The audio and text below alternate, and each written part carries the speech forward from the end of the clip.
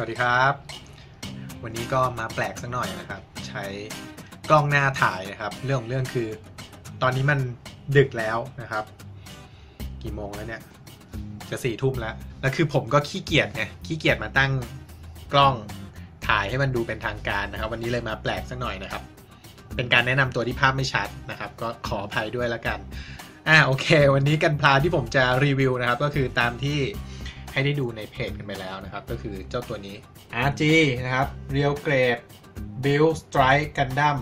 Full Package นะครับ ก็เป็นกันพลา Real Grade นะครับ ตัวใหม่ล่าสุดที่เพิ่งออกมาเมื่อเดือนนี้ธันวาคม 2016 นะครับ ก็ก่อนหน้านี้ผมเพิ่งรีวิวเจ้าตัวนี้ไปนะครับ ตัวใหญ่เห็นไหมเอ่ย ให้คะแนนเต็ม 10 ไปเลยนะครับ Master Grade Build Strike Gundam Full Package นะครับ แล้วก็ เจ้า Universe Booster ไปด้วย ซึ่ง Master Grade เนี่ย ผมบอกได้เลยว่า แม่งแจ่มมาก วันนี้โอเคไอ้นั่นชมไปแล้ว เดี๋ยววันนี้เราจะมาดูเจ้าตัวนี้กันนะครับว่า พอเป็นแบบ Real Grade นะเนี่ยมันจะมีอะไรที่มันแตกต่างจาก Master Grade บ้างนะครับ แต่ว่าเจ้าตัวนี้มันไม่มี Universe Booster นะ หลายคนก็เดากันว่าทางบันไดอาจจะวางขาย Universe Booster เป็นแบบ P บันไดหรือเปล่านะครับ ก็เดี๋ยวไปรอชมแล้วกัน ซึ่ง หลังๆ บันไดก็ชอบทำประมาณเนี้ยนะฮะ ก็คือถ้าเป็นไอ้พวกลูกเล่นอะไรพิเศษอย่างเงี้ยเขาก็ยอมเป็น P บันไดออกมาขายนะครับ ก็ไม่วางขายแบบปกติ ซึ่งคือผมเองก็ไม่เข้าใจว่าทำไมเหมือนกันนะ คือแบบบางอย่างที่มันเป็นเป็นเป็นออปชันเป็นอาวุธเป็นอะไรที่มันน่าจะขายก็ปกติได้ เขาก็ไม่ขายเขาก็พีบันไดไปนะครับ ซึ่งก็สร้างความลำบากยากเย็นให้กับ คนเล่นกันพาชาวไทยนะครับ คนญี่ปุ่นอะไม่เท่าไหร่เนี่ยคนไทยมันสั่งยากนะครับ แล้วก็พอเราซื้อจากร้านฮิวมันก็ราคามันก็จะอัปเกรดขึ้นมาอีกนะครับโอเคอะก็เดี๋ยวมาดูแล้วกันนะครับว่า Real Grade Build Strike Gundam ตัวนี้ มันจะเท่ขนาดไหน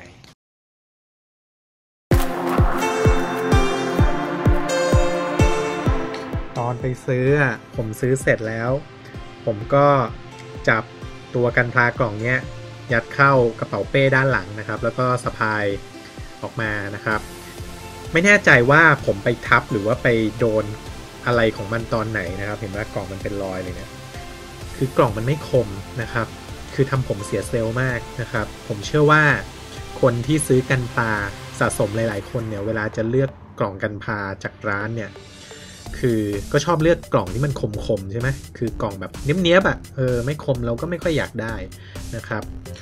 แต่ว่าวันนี้ผมแม่งไปซะละล่อสบุบเลย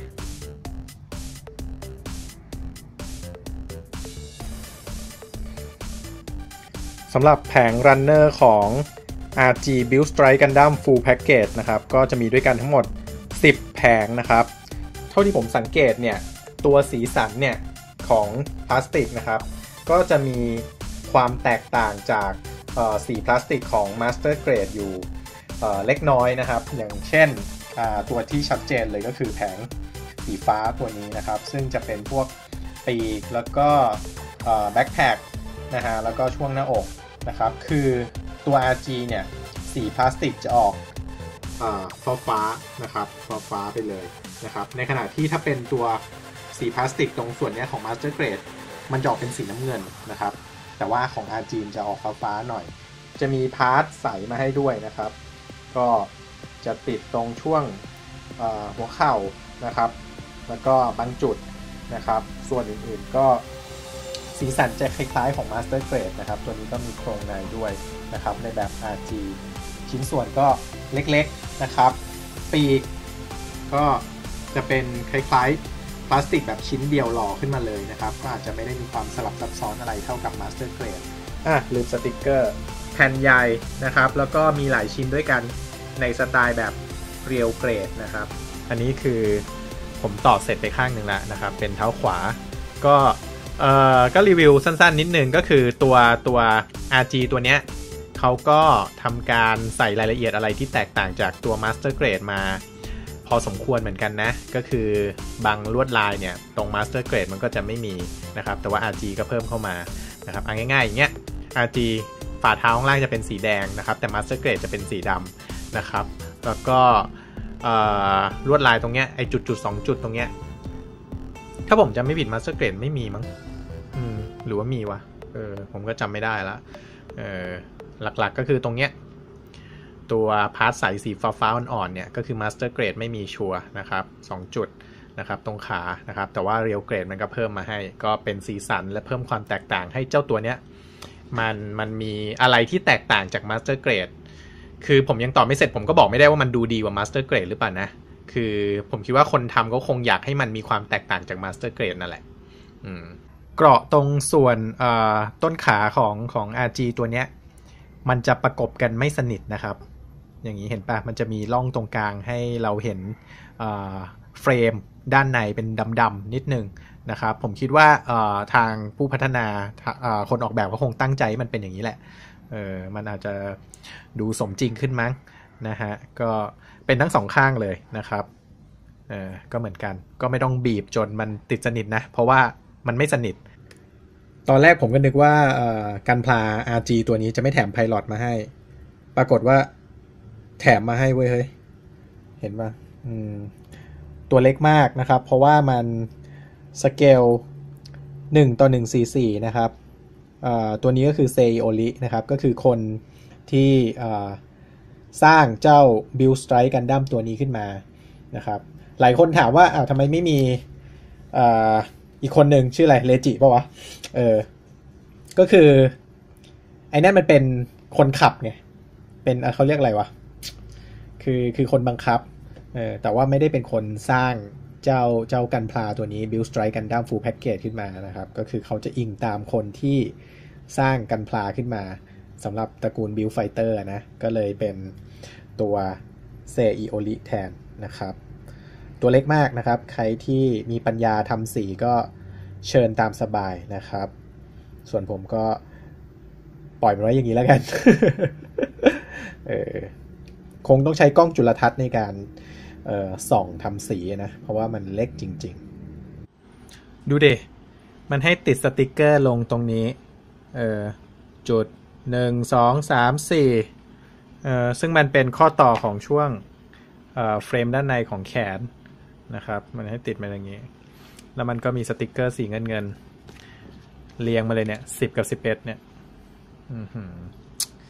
คือ มึงจะต้องให้กูลำบากชีวิตกับการติดสติกเกอร์ไปขนาดไหนวะอาจีเห็นแล้วแม่งเหนื่อยเลยอะมึงไม่ยอมสีทองมาให้กูเลยล่ะอ่าผมอยากจะพูดถึงข้อแตกต่างนะครับ ระหว่างตัว Build Strike ตัวเนี้ย ที่เป็น RG นะครับ กับ Master Grade นะครับ นี่คือ Master Grade ให้ดูนิดหนึ่งนะครับว่ามันมีตรงไหนที่มัน แตกต่างกันนะครับสำหรับคนที่ที่อยากรู้นะครับ ผมเชื่อว่าคือมีหลายคนแหละที่ที่กำลังสนใจแล้วก็อยากรู้ว่า RG กับ MG เนี่ย Master Grade เนี่ยกับ Real Grade มันต่างกันตรงไหน ถ้าพูดถึงรายละเอียดนะครับบนบนชิ้นพลาสติกเนี่ยก็คือพวก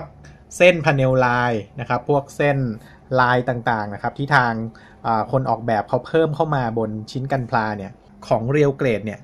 จะมีเยอะกว่า Master Grade ถ้าเป็น Real Grade ก็จะมีการเพิ่มชิ้นพลาสติกขึ้นมานะครับไออย่างไอเนี้ยตรงชิ้นเทาๆตรงกลางเนี่ย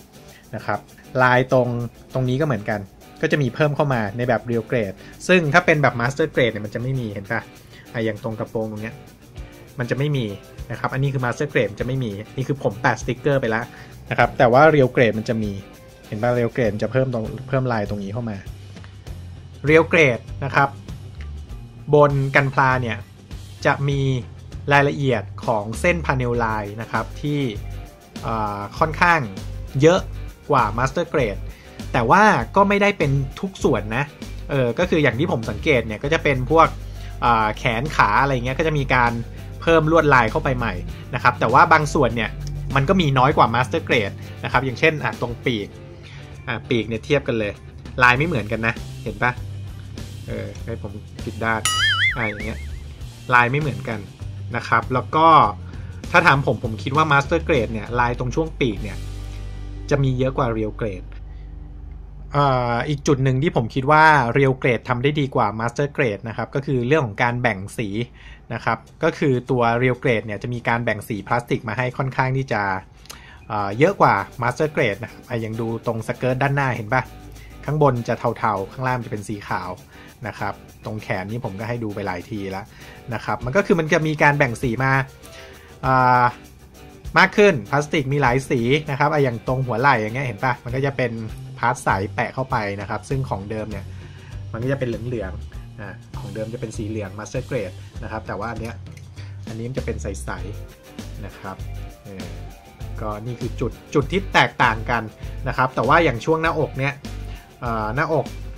ก็ ของ Real Grade เนี่ยมันจะเป็นพลาสติกชิ้นเดียวเลยนะครับ เป็นกรอบชิ้นเดียวมาเลยนะครับ ซึ่งเดินลายมาผมว่าเออมันก็โอเค มันก็มีความสลับซับซ้อนดีนะครับ ในขณะที่ถ้าถ้าดูของ Master Grade เนี่ย ก็อาจจะดูแบ่งแยกเป็นชิ้นที่คือชิ้นพลาสติกเนี่ย คือแบ่งแยกกันชัดเจนหน่อย อันนี้มันจะเป็นชิ้นเดียวไปเลย แล้วเป็นการสลักล่องลงมา ซึ่งมันก็เป็นความแตกต่างกันในแง่ในแง่ของการออกแบบนะฮะ ก็แล้วแต่คนชอบนะว่าคนจะชอบแบบพลาสติกชิ้นเดียวหรือว่าเป็นแบบว่าหลาย ๆ ชิ้นประกบกันนะครับซึ่ง Master Grade มันตัวใหญ่กว่าไงมันก็เลยแบ่งพลาสติกหลาย ๆ ชิ้นแล้วประกบกันได้ ซึ่งมันอาจจะช่วยในเรื่องของความสมจริง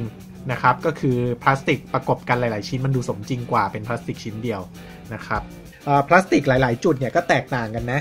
เอออย่างเช่นช่วงขาเนี่ยขาลายก็ไม่เหมือนกันเห็นปะ ถ้าเป็น Master Grade จะมีขีดตรงกลางนะครับ ในขณะที่ Real Grade ก็ไม่มีแตกต่างกันในรายละเอียด แต่คือผมว่าภาพรวมมันก็ คือเอาจริงถ้าไม่สังเกตจริงก็ดูไม่ออกเออ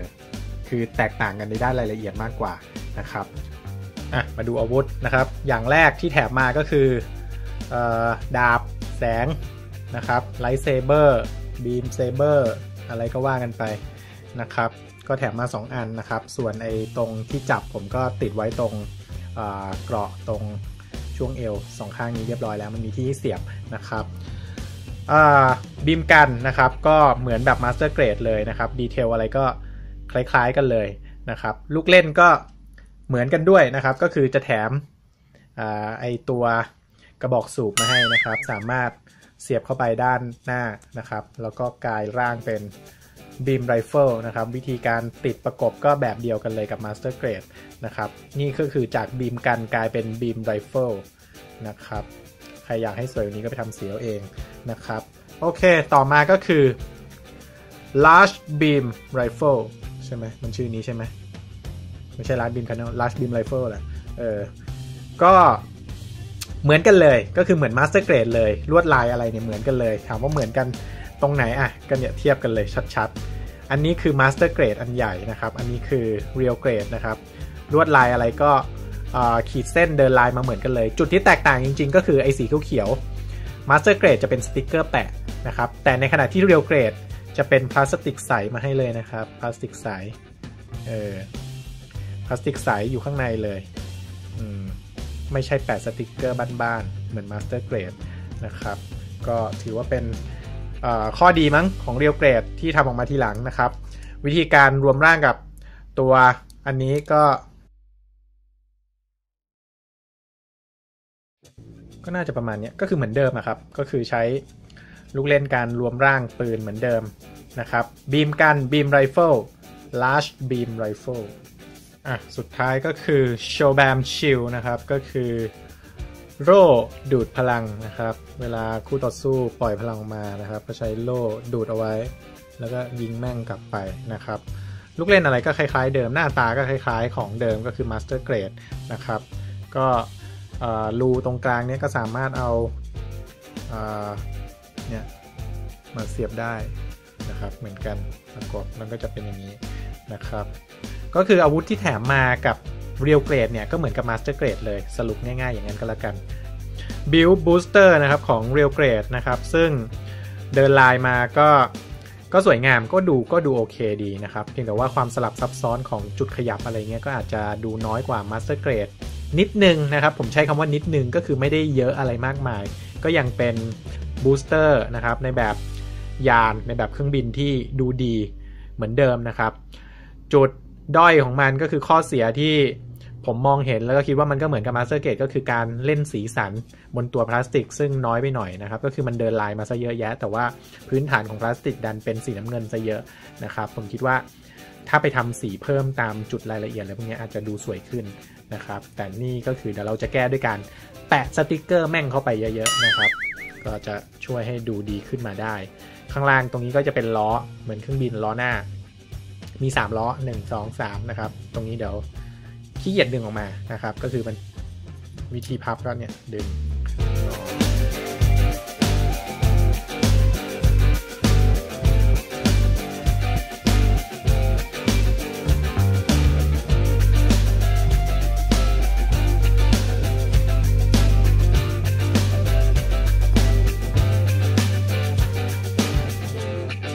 ยืนสิครับพี่ยืนยืนนะครับ อย่าเพิ่งเมาแหม เป็นคนเอวอ่อนซะเหลือเกินมึง เป็นลูกผู้ชายมันยืนด้วยลำแข้งตัวเองได้ จะรอดไหมเนี่ยหืม RG เกรดที่เอวอ่อน ที่สุดในบรรดากันพลา คือข้อเท้ามันมันตรงช่วงเนี้ย มันไม่แข็งแรงมันไม่แน่นเอาซะเลยนะครับ ขนาดผมแบบจับเนี่ย เดี๋ยวมันก็จะงอไปข้างหลังแล้ว คือมันรับน้ำหนัก backpack ไม่ไหว นะครับ ซึ่งจะต่างจาก Master Grade เลยคือ Master Grade เนี่ยยืนยืนยืนแน่นเลย ผมว่าแม่งเป็นข้อเสีย คือข้อเสียที่แก้ไม่ตกอะ่ะของของกันพลาในแบบ Real Grade นะครับ ก็คือเอวอ่อน ขาอ่อนทุกตัวนะครับ เอออะให้กูหมุนหน่อยไอ้เหี้ยไอ้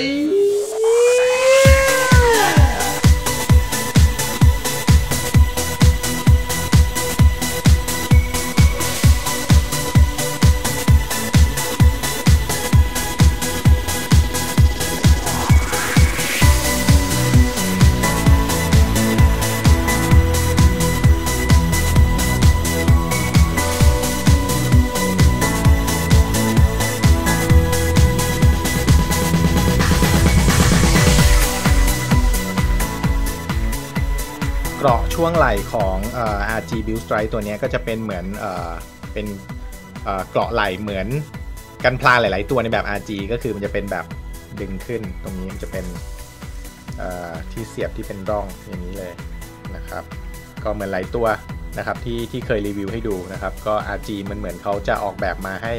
เกราะช่วงไหล่เนี่ยมันใช้วิธีการเสียบแบบนี้นะครับ ก็คือมันจะเป็นร่องเห็นปะกลมๆอย่างเงี้ยนะครับ แล้วก็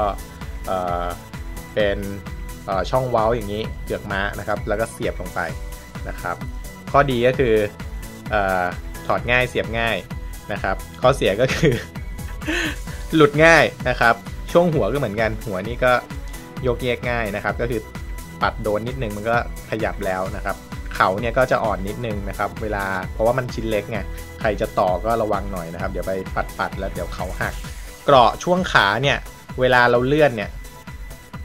มันก็จะขยับปิดอย่างนี้นะครับ ก็ให้ดูสมจริงมากขึ้นนะครับ เวลาขยับเข่า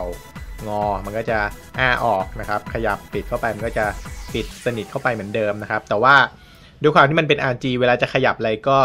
ระวังกับมันหน่อยนะครับ เบาๆนะครับ มันชอบความนุ่มนวลนะครับ อย่าไปออกแรงอะไรกับมันเยอะนะครับ มันจะมีสติกเกอร์แนวสีเงินสีทองเงี้ยให้เราแปะเกือบทั้งตัวนะครับสำหรับกันพลาในแบบ RG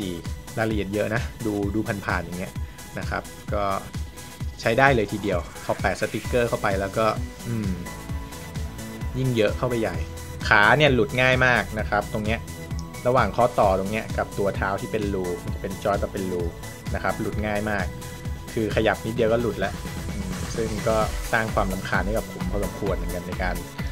จับมันเวลาดัดท่าทางนะครับ คือกันพาผมว่ามันต่อไม่ยากหรอก เออ มันจะไมายากตอนจับตั้งท่าเท่ๆเนี่ยแหละ เออซึ่งมันเสียเวลานะครับ ประเด็นคือมันมันมันยืนไม่ค่อยอยู่นะครับ ประมาณ 13 เซนอันนี้คือตั้งแต่ฝ่าเท้าถึงหัวนะครับ ไม่นับปีกที่มันสามารถจับชี้ขึ้นได้ตามต้องการ ก็คือถ้านับตั้งแต่ฝ่าเท้าถึงหัวเนี่ยก็ประมาณ 13 เซนก็ถือว่าเป็นเรียลเกรดที่ตัวไม่สูงสักเท่าไหร่นะครับ ก็ตัวเล็กๆนะครับ ขนาดมาตรฐานทั่วไป